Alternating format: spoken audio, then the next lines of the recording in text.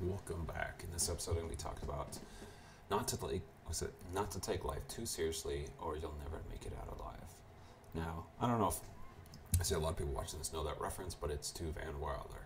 And uh, again, I'm just kind of using that as just a basic principle of the concept what I'm talking about.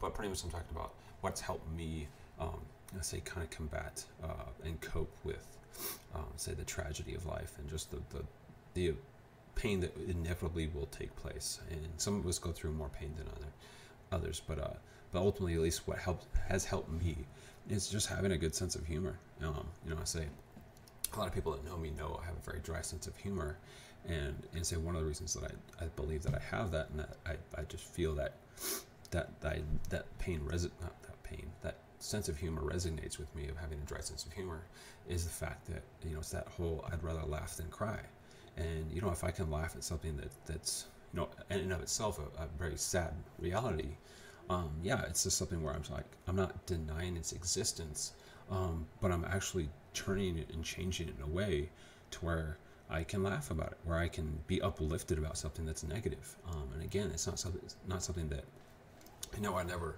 personally would would find humor in something that's extremely um, personal. You know, it's something where, you know, I think more the subject and, and making fun of the subject is humorous.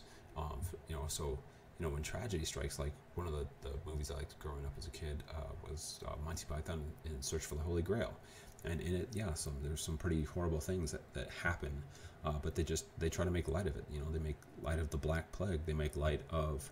There's a point where one of the, the main characters, uh, Sir Lancelot, comes through and, and he misinterprets what's happening. He thinks there's this damsel in distress, and he ends up, I think, butchering like half of this wedding party and their families and such, um, thinking that, that there's this that they're part of some sort of tyrannical, horrible institution that this this uh, this uh, maiden in uh, in distress is, is victim to. Um, then he ends up realizing what's actually going on, but it just kind of you know there's a point where he's apologizing, you know, sorry about that. And, it's just it's to me I find it hilarious and funny because it's so absurd to, to try to brush something off like that. You just you know slaughtered a, a bunch of innocent people, and he's just kind of like ah sorry about that. So for myself, it just it makes me laugh because it's absurd to think that they're simply slightly apologizing and saying my bad. You know, you say you're bad if you accidentally grab the, the you know the wrong meal if you're if you're picking up delivery or something like my you know that's a, a minor inconvenience. That's what you that's how you apologize. You don't apologize when you you accidentally kill somebody um, who was innocent. Um, so again, I find I, I find humor in that, and again, it's just more because I like to look at things that way. I like to laugh at how absurd um, that type of behavior is. You know, I think a lot of times, like one of my favorite comedians is Dave Chappelle, and he does a lot of that type of comedy where he's making fun of real horrible things, um, but just he does it in such an absurd way that it's funny. And again, that just it helps me um, you know, look at life that way. When when life's got me down, a lot of times I do try to have that apply that dry sense of humor to something that's happened to me, and uh, and yeah, just like laugh it off, um, because uh, yeah, just it makes life easier to deal with. It makes it more carefree.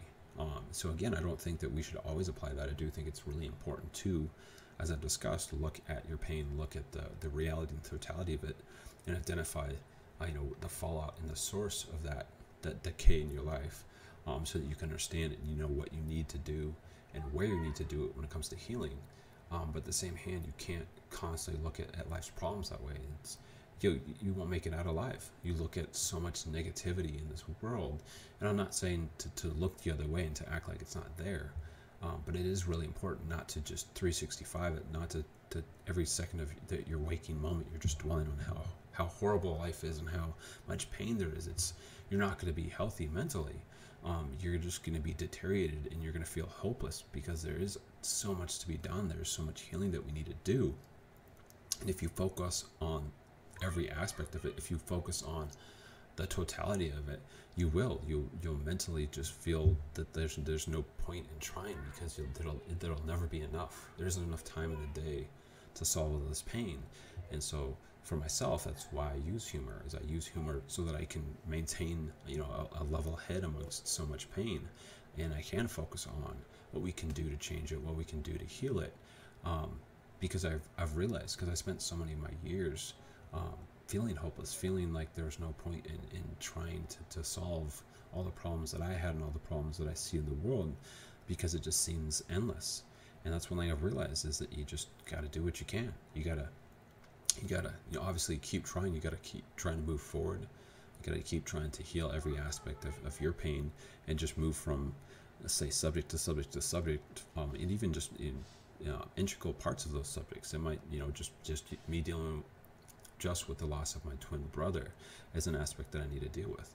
I can't deal with the loss of my twin brother, what my dad did to my sister, um, just the financial screen over that's happened in my life, um, and every integral thing. I can't look at every aspect at the same time. I have to, to look at it individually and try to feel heal that chapter, try to heal that that page of my life, rather than looking at the entire encyclopedia of pain that, that is out in the world and being like, how in the world are we gonna, you know, just it's really you got to do what you got to do. You got to look at what works, and and so for like example, like with uh, like physical conditioning.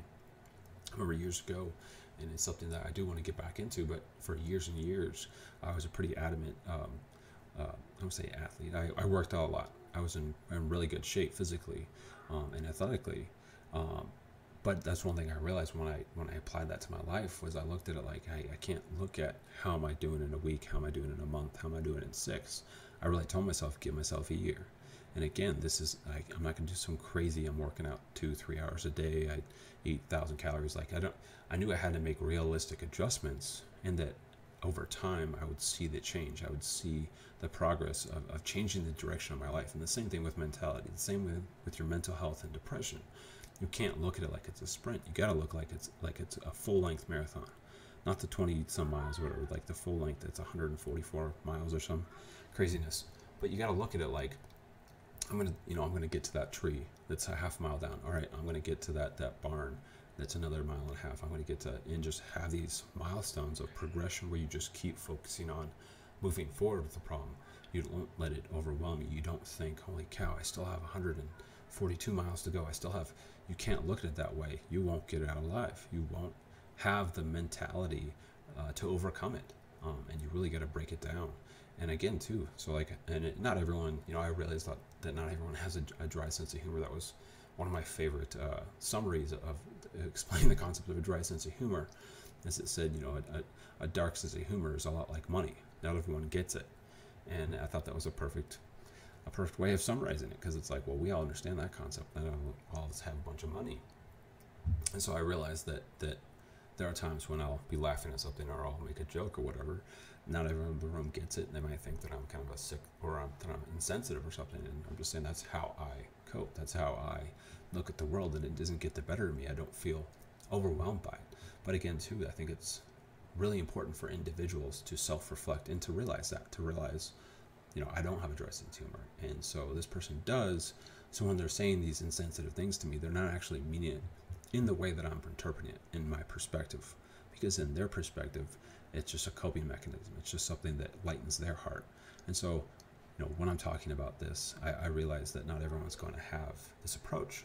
Um, but at the same hand, it's more just I'm using an example of what helps me and why it helps me, hoping that other people will self reflect and see what might help them you know, some people might uh, feel the benefit from immersing themselves in sad stories and, letting the tears run, and that that's how they decompress. That's how they look at pain, and they don't feel as overwhelmed by it. But that's one of the things that I, I'm just trying to encourage people to do, is to self-reflect and see what brings you up and brings you down, and to make sure that there's a balance there. You can't just you can't 365 it with depression and it, uh, not depression, but with depressive aspects. You can't just look at, at the, the, the at just the, the horrible pain that's out there all the time because it, maybe to me it's just going to overwhelm you. You do have to figure out uh, um, what lifts you up, what makes you feel good.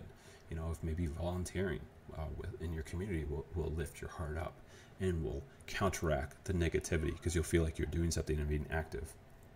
You know, maybe you know, volunteering with uh, counseling with, with being a big brother, big sister, those type of things will make you uplifted and bring your heart up and, and, and remind you that there are people out there actively trying to invoke change and heal.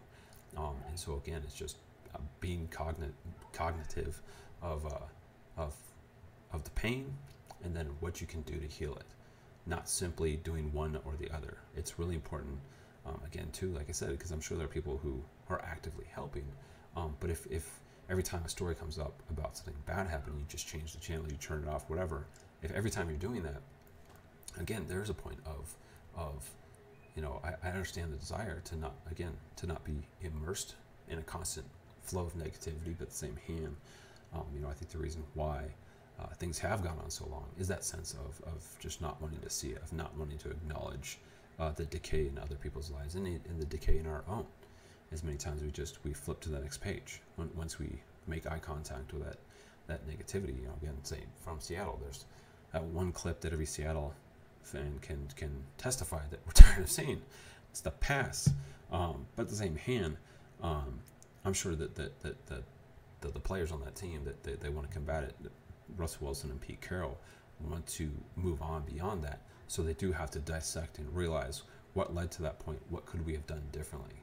Um, so there's a, a, certain level of accepting uh, the mistake, and then there's also a certain level of uh, identifying uh, painful events. But at the same hand, there's also a point where we need to move on from that and, and look at what we can do to combat it, and not just simply look at the, the, the broken leg, look at the the gunshot wound or whatever. We need to figure out how do we stop it, how do we heal it, because um, if you're just looking at the pain itself and that's all you do, um, I could I completely see why a lot of people are suicidal. A lot of people um, don't don't feel like the world has any hope, and and so again, it's about identifying why we're in that state, rather than just saying it's broken.